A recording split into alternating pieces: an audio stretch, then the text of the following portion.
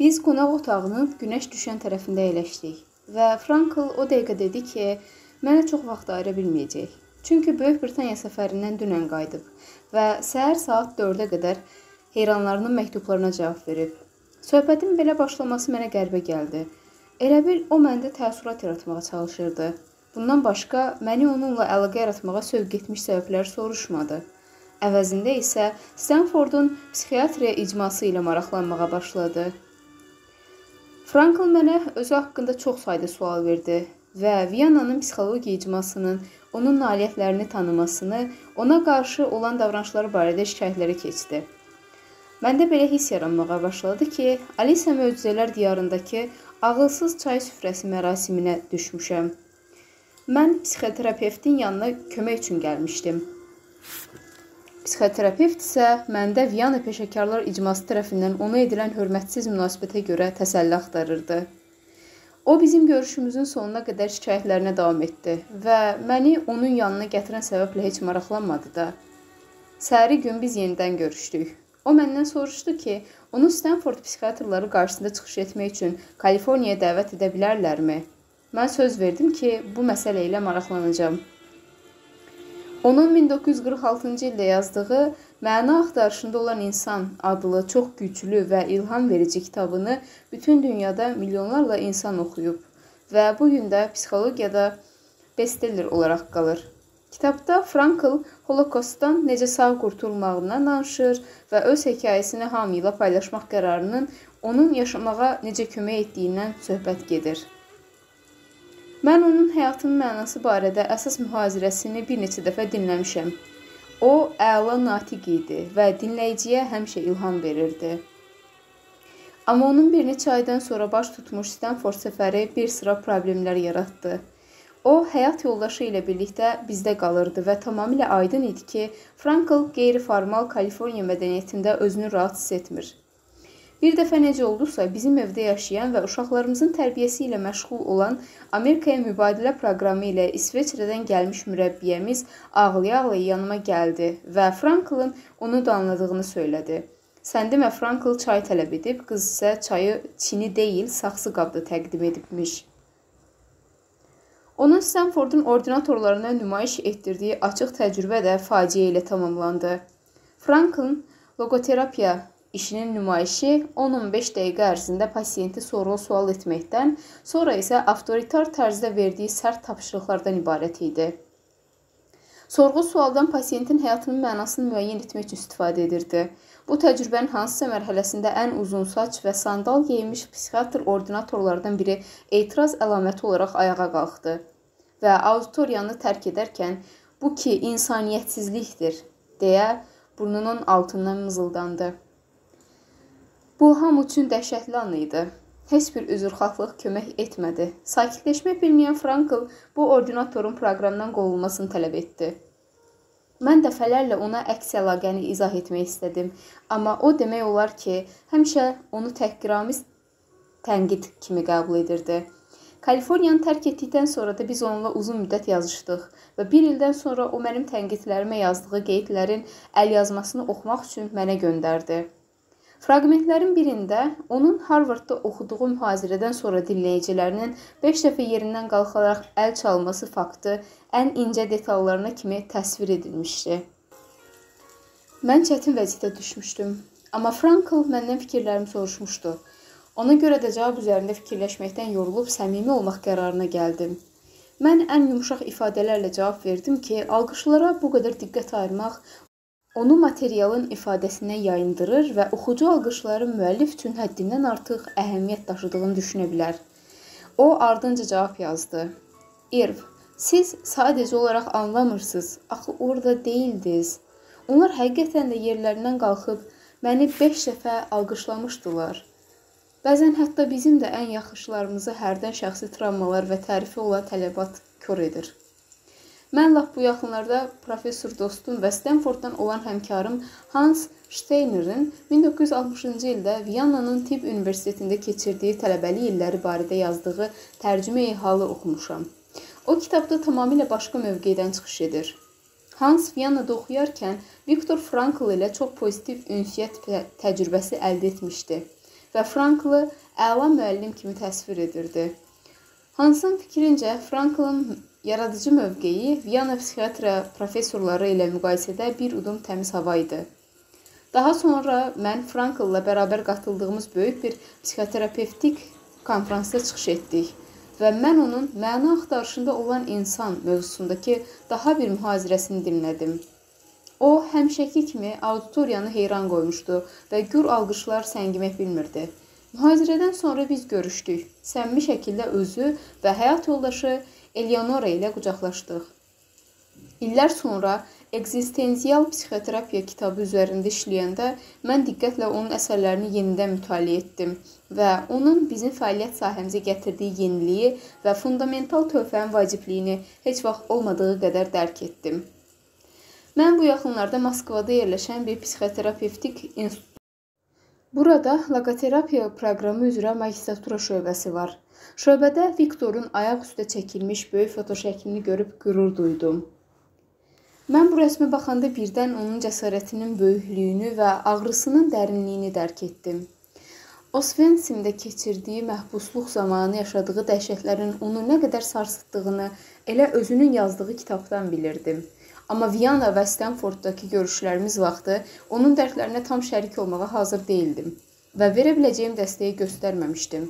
Sonralar mən bizim sahəmizin başqa aparıcı simaları ilə münasibətdə, məsələn, Rollin May ilə bu səhvi təkrar etmədim. 21-ci fəsil.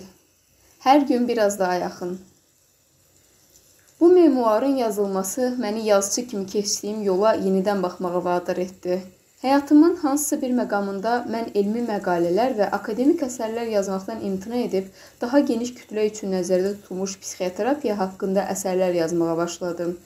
Və bu keçidin Rüşeymlərinin 1974-cü ildə çap edilmiş Hər gün daha yaxın adlı qəribə bir kitabla bağlı olduğunu düşünürəm. Bu kitabda mən keyfiyyət göstəricilərinin dilindən uzaqlaşdım və daha çox bütün həyatım boyu oxuduğum yazıçıları təqlid etməyə cəhd etdim. O zamanlar heç təsəvvür də etmirdim ki, psixoterapiyanı 4 romanın və 3 hekayələr toplusunun köməkliyi ilə öyrədə biləcəm. Mənim metamorfozum 1960-cı illərin sonunda başladı. O vaxt Ginny Elkini öz terapevtik qrupuma cəlb etmişdim. Ginny Stanfordda Stegner proqramı çərçivəsində yazıçılıq sənətini öyrənirdi. Xanım həddindən artıq utancaq idi və qrup tərəfindən qəbul edilməkdən və ya qrupun diqqətini cəlb etməkdən imtina etdiyinə görə qrup terapiyası ona çox çətin başa gəlirdi. 1-2 aydan sonra o təhsilini başa vurdu və axşam saatlarında müəllim işinə düzəldi. Bu isə onun qrupda iştirakını qeyri-mümkün etdi. Cinni fərdi terapiyasını mənimlə davam etdirmək istəyirdi, amma Stanfordun müəyyən etdiyi məbləğə də gücü çatmırdı. Buna görə də Ona qeyri-adi razılaşma təklif etdim. Mən bir şərtlə ödənişi azaltmağa razılaşdım. O hər seansdan sonra görüşümüz zamanı verballaşdıra bilmədiyi bütün hiss və fikirlərini təsvir edəcək yazılı hesabat hazırlamalı idi.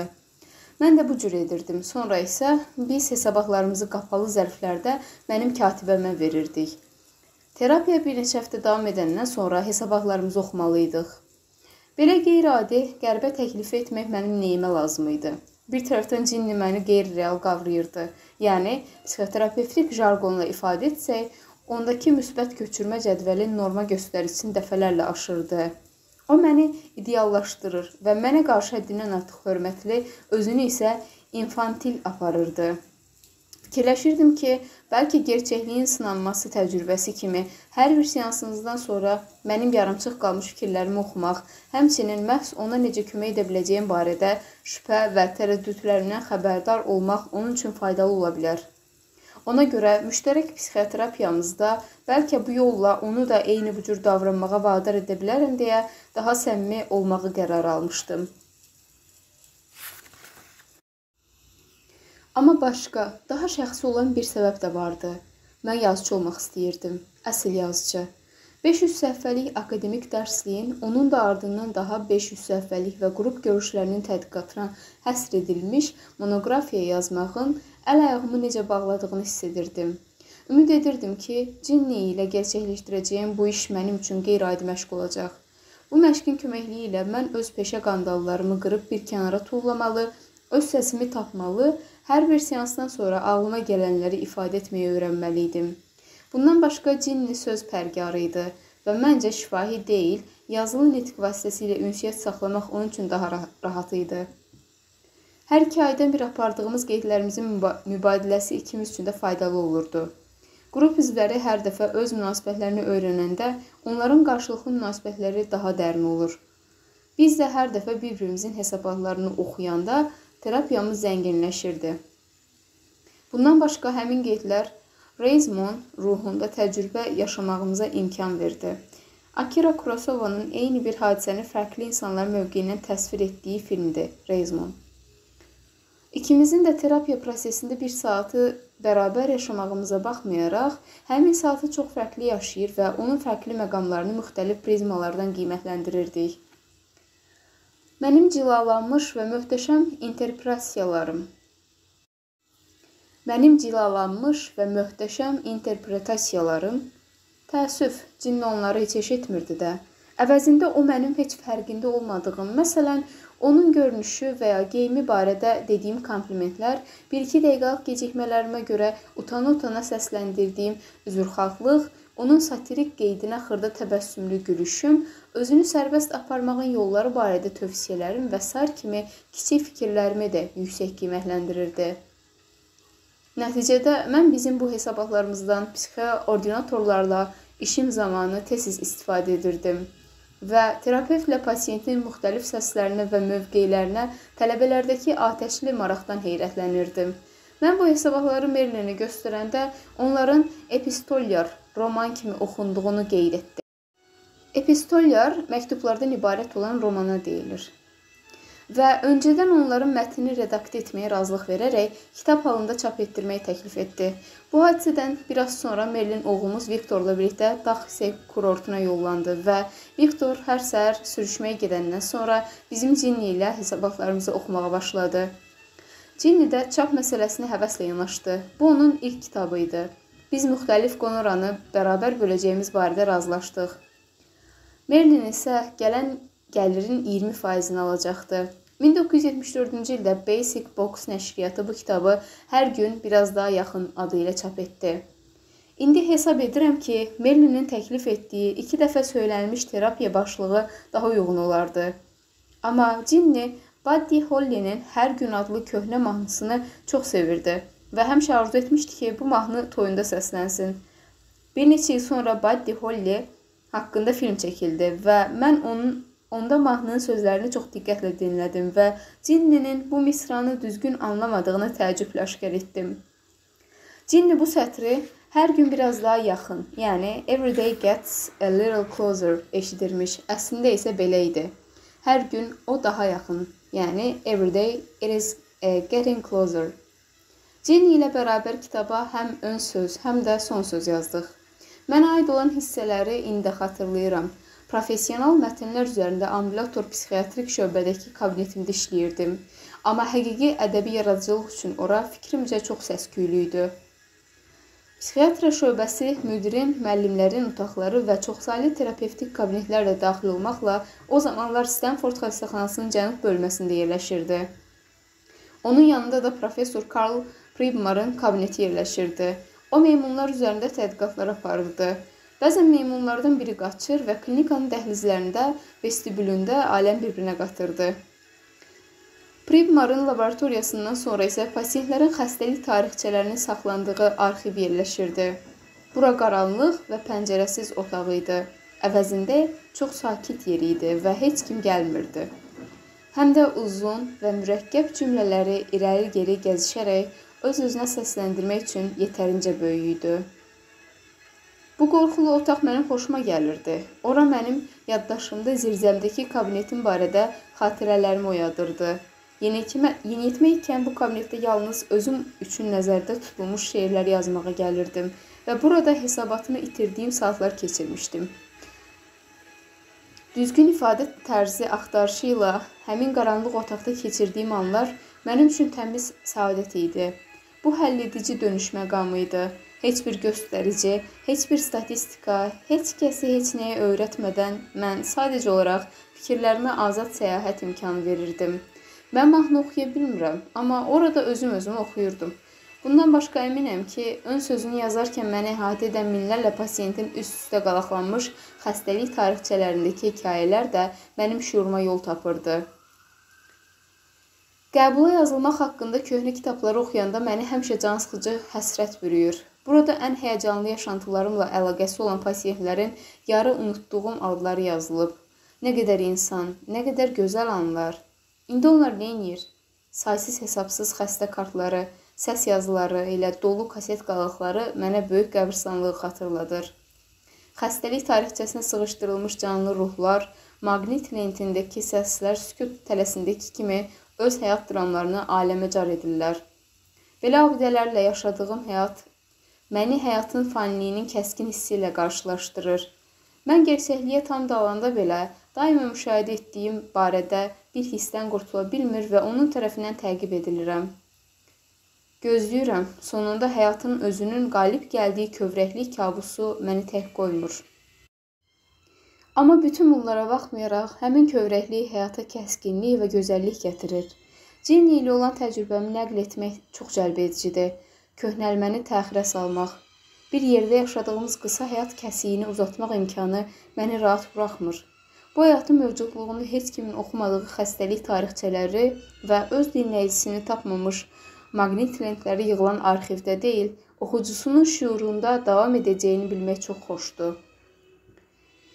Bu ön söz məndə baş verən dəyişikliklə vacib nöqtə idi. Mən daha lirik tərz axtarırdım və eyni zamanda anilik fenomeninə diqqət yetirdim və bu yolla ekzistensial dünya görüşünə gəlib çatdım. Təqribən Cinninin mənim yanıma terapiyaya gəldiyi eyni vaxtda başıma daha bir ədəbi hadisə gəldi. Merlinin həmkarlarından biri bizə 1961-ci ildə intihar edərək həyatdan köçmüş Ernest Hemingway-in həyatının pərdə arxası məqamlarını görməyə imkan yaradan qeyri-adi hədiyyə etdi. O universitet kitabxanasında Hemingway-in dostu, Normandiyanın istilası zamanı ordunun sərkərdələrindən biri olmuş general Bak Lanimə yazdığı və dərc edilməmiş məktubları ilə dolu bir qovluq tapmışdı. Onların surətini çıxarmağa icazə verilmirdi. Amma Merlinin həmkarı bu məktubları xəlvəti yolla balaca maqnitofonunu diktə etmiş və sonra da yazıya köçürmüşdü. Bir neçə günlükünə oxumağa bizə və birbaşa stat gətirmədən hissələrini nəql etməyə icazə də verdi. Bu məktublar Hemingway-in psixoloji vəziyyətini əhəmiyyətli dərəcədə aydınlıq gətirir. Mən Vaşinqtona getdim. O zamanlar Xerox şirkətinin direktorlarından biri olan Buck Lanimi ziyarət etdim və ondan da bir xeyli məlumat topladım. O, Hemingway ilə dostluğu barədə söhbət etmək üçün mənimlə mehribanlıqla razılaşdı. Hemingway-in əsərlərinin çoxunu oxuyandan sonra biz Merlinlə uşaqlarımıza baxmaq üçün dayə tutduq və şərikli məqaləmiz üzərində işləmək üçün Kaliforniya ştatının Saratoga şəhərindəki Villa Montalvo adlı incəsənət mərkəzinə sakit və uzunmüddətli tətilə getdik. Bizim Hemingway Psixiatrın baxışları adlı məqaləmiz 1971-ci ildə Amerika Psixiatra Assosiasiyasının jurnalında dərc edildi və o dəqiqədə Bu məqaləni bütün dünyada yüzlərlə qəzet tirajladı. Merlinlə mənim bu məqaləyə qədər və bundan sonra yazdıqlarımızın heç biri belə diqqət cəlb etməmişdi. Biz məqalədə Hemingway-in çılğın xarici davranışının arxasında gizlənən qeyri-adekvatlığı təhlil edirdik. Özünü hər yolla qəddar, amansız göstərməyə çalışmasına daha çox kobudluq tələb edən işlər, yəni boks, açıq dənizdə balıq tutmaq və iri heyvan ovçusu kimi fəaliyyətlə məşğul olmağa vadar etməsinə baxmayaraq, general Lannemə olan məktubları onun uşaq kimi kövrək olduğunu göstərirdi. O, əsl insanın, güclü və cəsur generalın qarşısında baş əyir və özünü qorxaq yazıçı adlandırırdı. Hemingway yazıçı kimi yüksək qiymətləndirdiyimə baxmayaraq, onun ictimai mövqe mövqeyinə heç vaxt rə rəğbət bəsləməmişəm. Çünki onun bu siması çox kələ-kötür, hipermaskul, alkoqol düşkünü və empatiyadan yüksək səviyyədə məhrum idi. Onun məktublarından belə aydın olurdu ki, əslində daha yumşaq, özünə qarşı tənqidi yanaşan və böyüklər dünyasında həqiqətən cəsur, qorxmaz böyüklərin işığından gözü qamaşan uşaq imiş. Biz öz niyyətimizi məqalənin lap əvvəlində ishar etmişdik. Hemingway-in təhlükə və ölümlə qarşılaşmasından doğan ekzistensial fikirlərini yüksək qiymətləndirməyimizə baxmayaraq, biz bu fikirlərin Tolstoyda və ya Konradda və ya Camusda olduğu kimi unikal və zamanın fövqində dayandığını hesab etmirik. Bu niyə belədir? Niyə Hemingway-in dünyaya baxışı belə məh məhduddur? Ehtimal edirik ki, Hemingway-in dünya görüşündəki məhdudluğu onun şəxsi psixoloji məhdudiyyətləri ilə əlaqədardır. Onun dahi ədəbi istedadı şübhə doğurmur. Onun həm də çox uğursuz insan olması da şübhə doğurmur. O bütün ömrü boyu özünü amansızlıqla təqib etmiş və 62 yaşında ikən paranoid depressiv psixoz vəziyyətində özünü öldürmüşdü. Bizim Merlinlə sıx əməkdaşlıq etməyimizə, bir-birimizin qaralamalarını oxumağımıza baxmayaraq, bu şərihli yazdığımız yeganə əsərdir. İndiyə qədər bu təcrübəmizi məmnuniyyətlə xatırlayır və fikirləşirik ki, nə vaxtsa lap ahıl yaşımızda olsa belə özümüz üçün yeni bir ortaq layihə tapacağıq.